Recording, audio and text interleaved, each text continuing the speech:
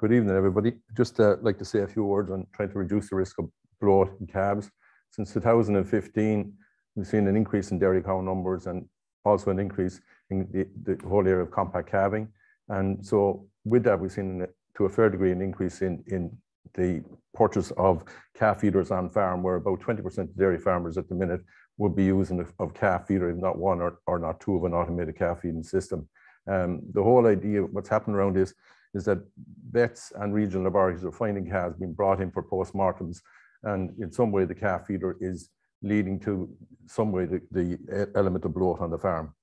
Um, if we look at what bloat is, it's a multifactorial problem. It can't just be the gas that's been produced. It's a bacterium produces the gas. Normally, the likes of Clostridia bacteria, Sarcina bacteria, or it can be the ordinary good lactic acid bacteria themselves create, create the gas, or you're looking like Salmonella bacteria.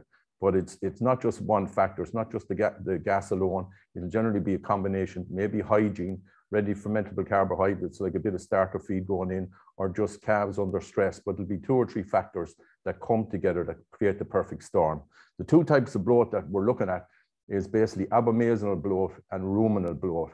Now, abomasal bloat is basically the fourth stomach. It's the fourth stomach that the calf is, is born with as such as the monogastric. The rumen is very small and not functioning. So basically all your milk, your, your whole milk your milk replacer is going into the abomasum and the flow rate through the abomasum will tend to level will, will tend to, to control the level of gas production within the abomasum itself. So what basically is you get the, the bacterium feeding on the sugars producing gas. So we need to control basically anything that delays the abomasum emptying into the small intestine. If we look at the esophageal groove, um, we, we, look at the esophageal groove, basically it bypasses the rumen when the cows are drinking their milk feed. So you want good esophageal groove action. And anything that interferes with that will basically cause a, a leakage into the rumen and can, cause rumen bloat in the very young calf. So abomasal bloat is generally under three weeks when there's no rumen. If you get a leak, a leak in esophageal groove, you can get some rumen bloat under two weeks of age, but generally rumen bloat is later. And the kind of signs you get with bloat you're going to get is either um, you're going to get a calf kicking on the flank, you're going to get grinding the teeth, and with the older calves, you're, going to go walk in some morning and you're going to find the calf dead, four to five weeks of age, good strong calf.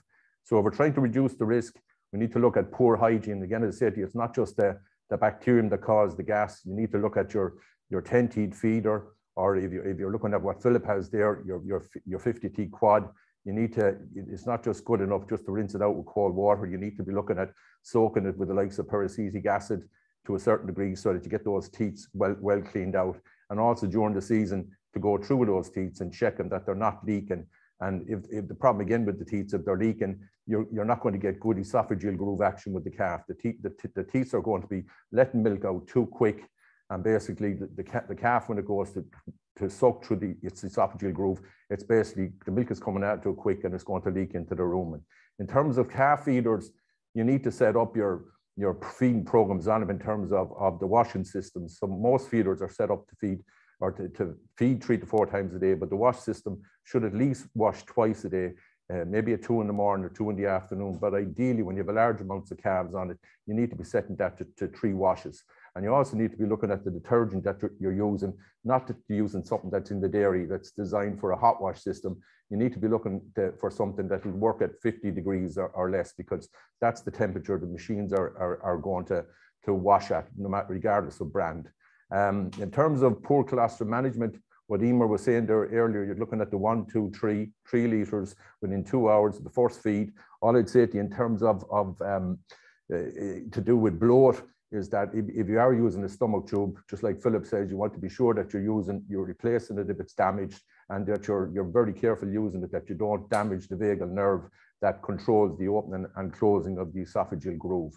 Um, the final part of, of the, the, risk on bloat in this section, looking at osmolality, and that's basically the solid contents of your milk and the flow of milk through the abomasum. And anything that delays the flow of, of your milk replacer or whole milk through the abomasum um, is allowing bacterium time to actually multiply on the sugars present and giving you a greater risk of bloat. And if you have the likes of Clostridium bacteria in there, you're going to get harmful toxins being produced that basically will affect the heart, the lungs, the liver of the calf itself.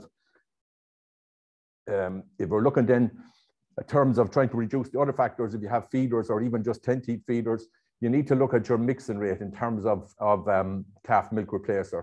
Don't just take it for granted, taking a scoop here and there. Get yourself a, a, a good measure, get yourself a weighing scales, weigh out your, your 125 grams, weigh out your 875 mils of water and multiply it up.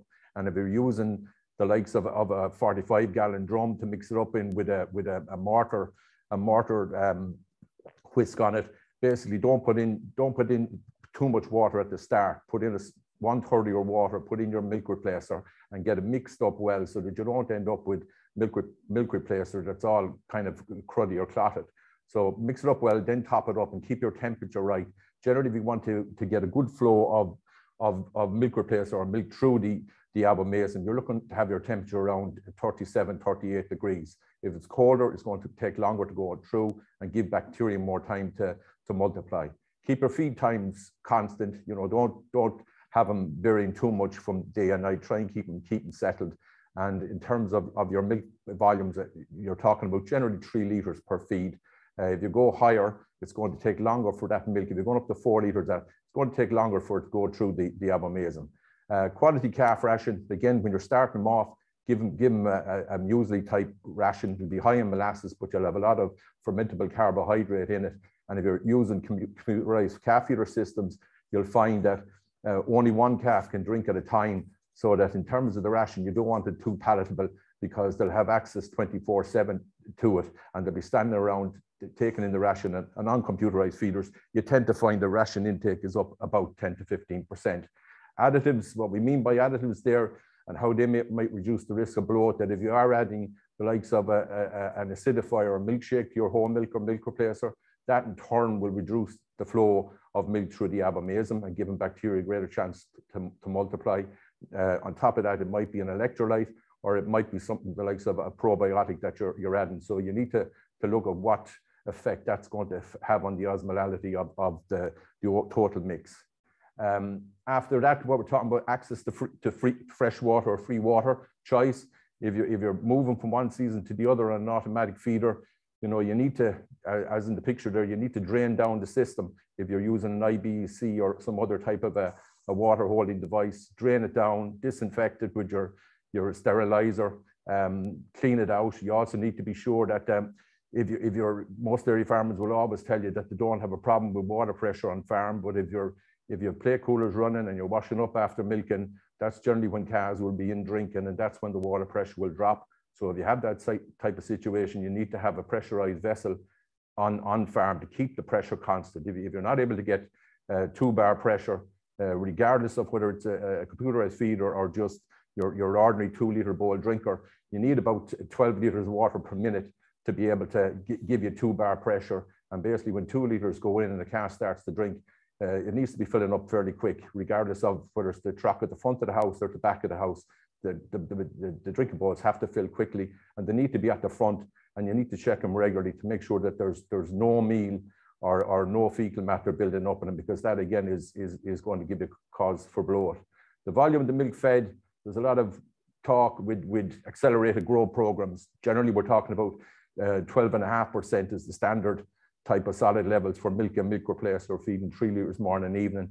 But if we look at accelerated programs, we're going up to 150 grams or, or 15% solids. And if we're looking at our once a day feeding type systems, again, which would be kind of a fortified milk replacer system, we're going up to 20% solids. So again, if you the more you move up the solid levels, the slower the milk is going to go through the abomasum and the greater the risk you have of bloat if you don't have your hygiene right and your management right you'd be as well to, to feed seven litres and stick at your 12.5%. If, if you can't be sure that you're going to get good quality water in to balance the high concentration you're putting through the abomasum.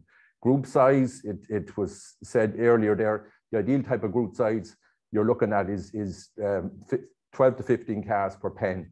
But again, with computerized feeders, we're shoving that to make the system economic. We're shoving it to 30 calves per pen in general, 25 to 30. Um, so that in it itself can create problems in terms of bloat. We need to be conscious that um, calves will be jostling to get into feed stations.